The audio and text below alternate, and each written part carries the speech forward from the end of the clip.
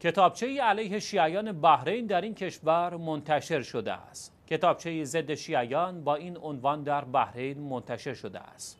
شیعیان در بحرین از کجا آمدند؟ خرافاتی به نام ساکنان اصیل فعالان حقوق بشر در بحرین در این باره می‌گویند که مشخص نیست این کتابچه توسط چه کسانی منتشر شده و مسئولین بحرینی باید بابت چاپ آن پاسخگو باشند به گفته آنان این کتاب به روشی کین توزانه به بخشی عظیم از جامعه بحرین توهین کرده و به تحولات تاریخی و ملی نیز خدشه وارد کرده است.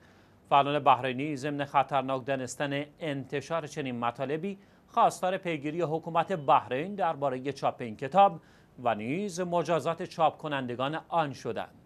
گفتنی اکثریت جمعیت بحرین را شیعیان تشکیل می‌دهند و حکومت این کشور با اعطای شهروندی به اهل تسنن از دیگر کشورها سعی در برهم زدن این نسبت دارد. بحرین توسط خانواده سنی مذهب آل خلیفه و به صورت پادشاهی اداره می شود